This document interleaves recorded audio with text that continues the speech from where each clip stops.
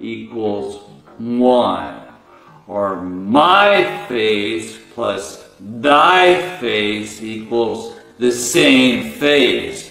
Or me plus thee equals the same person. Let's go to Job 13.8. The second reason why I believe that the Orthodox Trinity is a false doctrine is that it violates Scripture.